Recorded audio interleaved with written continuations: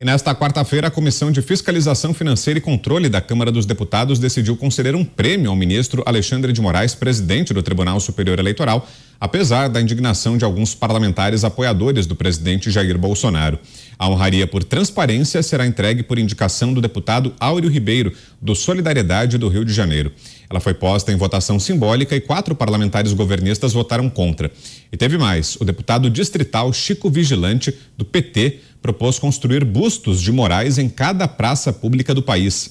Vigilante atua na Câmara Legislativa do Distrito Federal. Segundo ele, Moraes é um homem de coragem cuja atuação foi determinante para que a República continuasse de pé. E continuou: o presidente do TSE tem sido um verdadeiro guardião da democracia. Você, Fernão? É, é o padrão Saddam Hussein. O Saddam Hussein tinha também uma, uma estátua dele em cada praça. E, e, e, é interessante registrar que, o, que o, o, a primeira coletiva do presidente recém-eleito, que tinha lá não sei quantos jornalistas, mas potencialmente de todos os órgãos supostamente importantes da imprensa, não teve nenhuma pergunta sobre censura. Dizer, é um país que está sob censura, tem um monte de jornalistas sob censura, tem é, órgãos de imprensa inteiros sob censura e nenhum jornalista fez pergunta nenhuma sobre censura. Paulo Eduardo Martins, você, Paulo. Vitor, essa história aí na comissão é a cara do parlamento brasileiro. Está resumido o parlamento brasileiro hoje. Tá? Quatro abnegados membros da comissão votando contra, se levantaram, fizeram pronunciamentos, deram a cara, enquanto os outros foram que simplesmente adesistas, porque é interessante, porque para o momento é a onda de, que deve ser surfada, é com quem deve estar ao lado. E assim eles se portam. Não tem problema de Constituição, liberdade, não, isso é coisa para povo.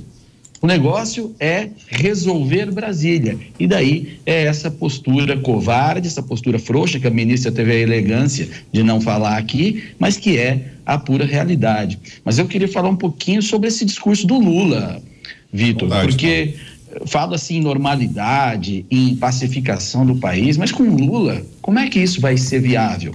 O Lula desperta né, em boa parte da população brasileira os mais primitivos instintos. O Lula fala em não se meter no Congresso. Bom, ele é o homem que governou o país no momento do mensalão. O governo dele instituiu o mensalão, que é a compra ah, do Congresso. O Lula fala que ele é corintiano. Bom, ele meteu o time que ele ama num rolo com o Debrecht. O Lula fala em compor com forças diferentes e respeito. Ele chama o Michel Temer de golpista golpista, ou seja, acusando o Supremo Tribunal Federal e o Congresso Nacional de ter executado um golpe de Estado contra a dona Dilma Rousseff. O, o Lula, nada do que ele fala é em verdade. Nada do que ele fala é puro, é direto, é real, é sempre um maldito teatro. E é por essa razão que o Lula não tem nenhuma condição de pacificar o país. O Lula é a encarnação de um cancioneiro do cinismo e da mentira. Alexandre Garcia, e você, Alexandre, que nos diz dessas homenagens do mundo político ao presidente do TSE, Alexandre de Moraes?